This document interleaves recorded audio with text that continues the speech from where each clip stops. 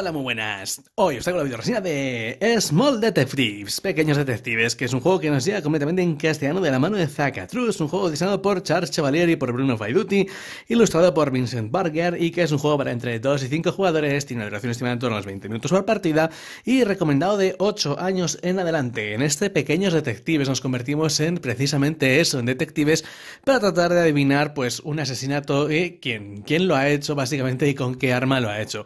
Se trata de un juego familiar, es un juego muy sencillo que tendremos que ir deduciendo y para ello nos iremos moviendo con nuestro peón de acuerdo a las diferentes cartas que vayamos jugando e iremos, bueno, pues descartando sospechosos y descartando también armas del crimen. Como creamos que tengamos clara la resolución del caso, nos moveremos a la comisaría donde, bueno, pues haremos nuestras, eh, llevaremos a cabo nuestra deducción final y si hemos acertado, pues ganaremos la partida y si hemos eh, fallado, quedaremos eliminados, ¿vale? Así que como veis es un juego que se postula como una especie de carrera en el que el primer jugador que sea capaz de adivinar pues cuál es el arma del crimen y quién lo ha hecho, pues será el que gane la partida. Entonces, bueno, ¿cómo funciona? Es muy sencillito. Vamos a presentar aquí lo que tenemos. Tenemos estas cartas de acción, que serán las cartas que eh, limiten, bueno, pues los movimientos de los personajes, ¿vale? De los peones por el tablero que ahora formaremos. Y bueno, como muchos otros juegos, pues dependiendo del número de jugadores que seamos, eh, vamos a quitar eh, determinadas cartas, ¿vale? En este caso vamos a hacer una partida, por ejemplo, para cuatro jugadores, así que todas las cartas que tengan un 5 más, que en este caso son 3, pues se irían fuera, ¿vale? Aquí las tengo sacadas, así que estas cartas pues ya serían para el resto de los, de los jugadores, podríamos barajar y luego, bueno, pues repartimos, ¿vale? Bien, ¿qué más cosas? Como podéis imaginar, para poder empezar a jugar tenemos que tener un sospechoso y tenemos que tener, bueno, pues un arma del crimen. Esto eh, se lleva a cabo mediante estas rosetas, ¿vale? Como veis aquí tenemos los cuatro personajes, están Jimmy, Rosita, Edward y Amanda, y por otro lado, pues las cuatro armas del crimen, ¿vale? Una pistola, un cuchillo, eh, el veneno y bueno, pues aquí una, una soga, ¿vale? Entonces, bueno, pues cogeremos, las agruparemos y barajaremos y diremos, por ejemplo, que pues esta, ¿vale? La ponemos aparte, ponemos aquí las que faltan, lo mismo hacemos con los personajes, ¿Vale? Barajamos bien, sin que se note, sin que se dé cuenta. Sacamos, por ejemplo, uno.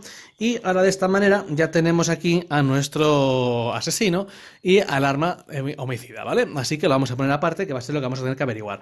Y el resto de, de losetas las mezclamos entre sí, las barajamos y van a ser las que van a conformar el tablero. El tablero que vendrá a colocarse en esta pequeña rotondilla que tenemos aquí, en el que siempre habrá dos losetas, una enfrente de la otra, que será la comisaría, donde llevaremos a cabo pues, nuestras investigaciones finales, y eh, el bar, ¿vale? El resto de losetas las iremos colocando alrededor y para ello nos guiamos con los diferentes pasos de cebra que tenemos aquí dibujados. Además, aquí por este lado, pues como veis, tenemos eh, las cuatro ilustraciones de los sospechosos y también de las armas. Entonces, como veis, básicamente estas casas que estoy yo colocando aquí son las diferentes eh, armas y los diferentes eh, sospechosos, ¿no? Los diferentes posibles asesinos que podemos ir descubriendo, lo cual es bastante obvio. Si aquí nos encontramos pues con la pistola, con la soga y con el veneno, evidentemente el arma que estará aquí será el cuchillo, ¿vale? Lo mismo pues con los personajes. Si aquí en estas casas nos encontramos pues a Jimmy, a Edward y a Amanda, pues el que nos falta será Rosita, que será el que esté aquí, ¿vale?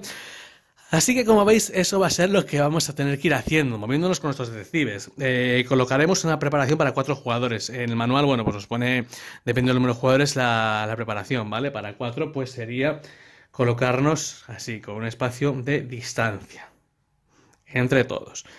Y eh, bueno, cada jugador luego también le damos una lupa para que la ponga delante de sí para, bueno, pues saber el, color de ese jugador, ¿vale? De, del peón. Y nada, pues ya estaríamos listos para empezar la partida. Estas fichas que tenemos aquí, ahora veréis para qué funcionan, se ponen al lado, de, al lado del bar. Y empezaremos repartiendo pues tres cartas a cada jugador, ¿vale? Hay un total de 12, así que cada jugador pues tendría sus tres cartas. Entonces, como veis...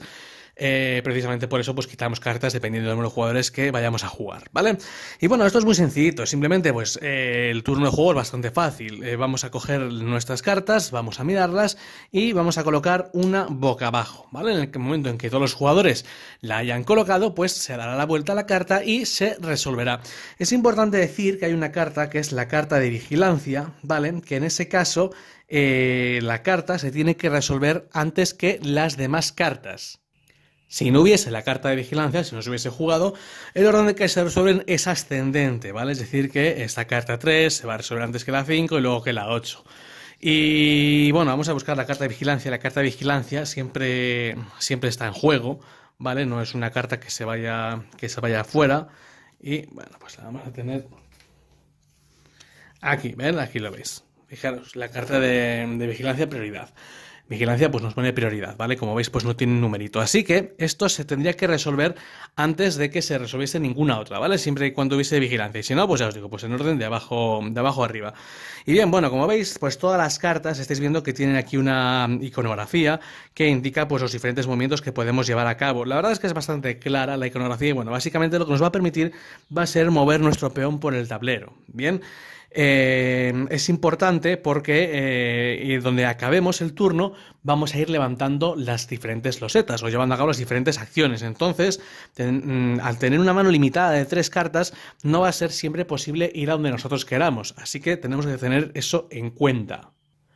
Si acabamos en una casa, y estamos solos, podremos ver esa loseta nosotros. Si acabamos en el bar, podremos coger de una a tres losetas, dependiendo de la, de la parte que sean. Es decir, aquí empezamos con sospechosos, como veis, entonces cogeríamos de una a tres losetas de aquí. ¿Vale? Estos son evidentemente los sospechosos que tenemos y se los mostramos al jugador que nos dé la gana. Se lo pasamos y ese jugador nos tiene que decir si ha visto alguno de estos o no. ¿Vale? Entonces es una manera que tenemos para, contrastar. Luego esto lo daremos la vuelta y podremos interrogar por las armas. Y si finalizamos en la policía, pues podremos llevar a cabo eh, podremos coger una de estas, una de estas y poner las que pensamos que nosotros son. Lo resolvemos y solo lo haríamos nosotros, ¿vale? Es importante porque si nos equivocamos, nos quedamos fuera y si acertamos, pues hemos ganado la partida. Así que para todo esto es para lo que nos vamos a mover. El orden de resolución es primero las casas, después sería el bar y por último sería la comisaría. Y como veis es muy importante tratar de adivinar dónde van a caer el resto de jugadores o cómo se van a mover.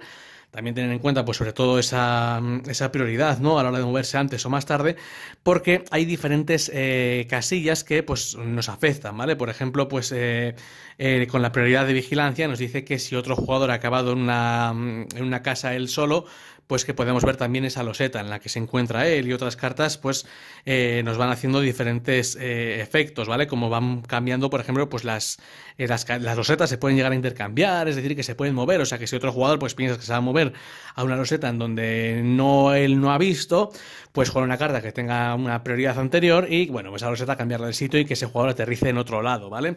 Esa es un poco la gracia del juego y los movimientos, pues como veis, bueno, pues son muy sencillitos. dos en contra, dos a favor de las aguas de reloj, uno en contra de las agujas de reloj, aquí podemos mover uno, dos o tres. Evidentemente la carta cuanto más alta es, más versátil suele ser, ¿vale? Tenemos otras cartas que van, eh, que nos permiten eh, mirar sitios eh, adyacentes, otras que nos transportan al lugar enfrente. En definitiva, pues todo tipo de movimientos que, bueno, siempre vamos a estar limitados por tener tres cartas y jugar una, ¿vale? Así que ya os digo, esa es la esencia del juego.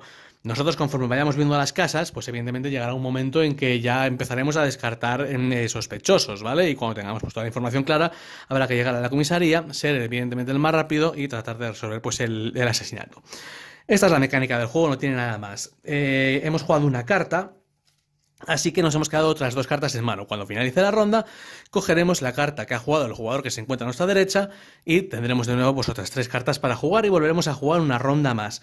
Y así es todo el tiempo hasta que un jugador pues eh, llegue a la, comisaría y bueno pues acierte con el, con el asesinato, ¿vale? Así que como veis pues es un juego bastante sencillito en el cual la gracia es tratar de moverse eh, tratar de caer lo más rápido en las casillas que nos hagan falta y bueno, pues un poco la picardea también de poder eh, alterar las losetas, moverlo y que sobre todo pues eh, puede llegar a confundir a jugadores en plan de si esa casilla que he visitado antes la he visitado o no, ¿vale? Porque se ha ido, se ha ido moviendo. Y nada más, pues todo esto es lo que ofrece este Small Detectives que nos lo trae Zacatrus en castellano. Vamos a ver, bueno, pues cómo han sido las partidas y un poquito pues a quién puede ir dirigido el juego.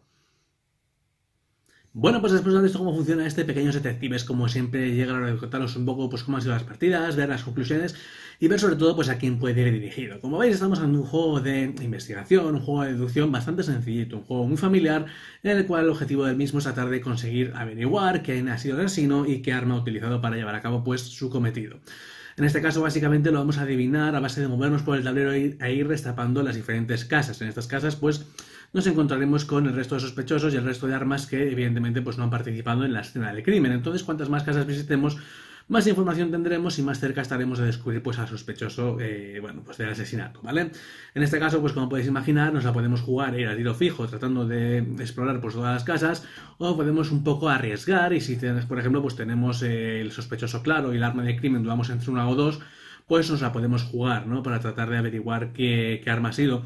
Y esto es así porque el juego en esencia es una carrera, todo el mundo va jugando, los, juegos, los turnos, por así decirlo, son simultáneos, todo el mundo elige una carta, eh, la carta se, resuelve, nos movemos y luego se van resolviendo las, eh, las losetas, ¿vale? Y evidentemente, pues el primer jugador que resuelva el caso va a ser que gane la partida. Entonces, a lo mejor arriesgarnos un poco sin tener todo el tipo de información nos permitirá, por ejemplo, pues eh, hablar antes en la comisaría que cualquier otro jugador, siempre corriendo el riesgo de que si nos equivocamos, pues nos quedamos fuera de la partida, ¿vale? Y bueno, pues como veis es bastante sencillito, simplemente pues se limita a eso, ¿no? El jugar una carta, el moverse y la picardía está, pues como os he dicho antes en la reseña, pues en mover las casas, el tratar de eh, conseguir las cartas que más os interesen. También, por supuesto, tener cuidado con la carta que vamos a jugar, porque esa carta le va a ir el turno siguiente a otro jugador. Y como veis, pues hay más cartas que son más poderosas, que actúan a lo mejor más tarde porque nos permiten ir a donde nos dé la gana o hacer unos movimientos pues tener más margen de maniobra, ¿vale? Y otras cartas que a lo mejor son más rápidas, pero que son más limitadas, que nos permiten ir al lado o a un sitio en concreto.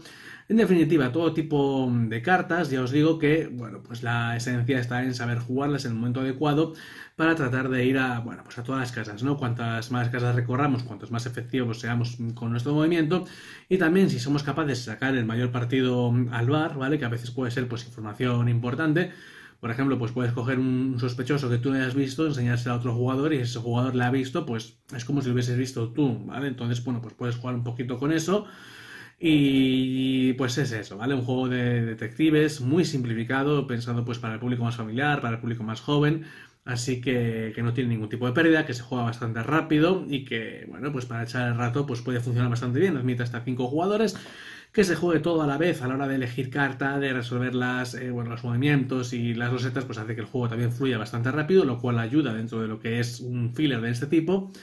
Y bueno, pues creo que cumple el cometido perfectamente. No es un juego, evidentemente, de investigación al uso en el cual tendremos que averiguar eh, o deducir demasiado, pero sí que tenemos pues eh, cierto margen a la hora de tratar de arriesgarnos o no a la hora de resolver el caso final, ¿vale?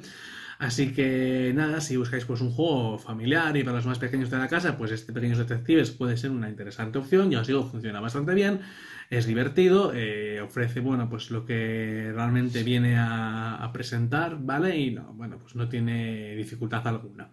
Así que nada, como siempre, espero que os haya quedado claro cómo funciona el juego, que es de lo que principalmente se trata. Como veis, es muy sencillo, básicamente es bajar carta, resolver carta, resolver loseta y llegar al final del turno, que es coger la carta que juega el jugador de la derecha y si alguien pues ha resuelto, ese jugador puede ganar o perder la partida y se juega evidentemente hasta que haya una resolución, ¿vale?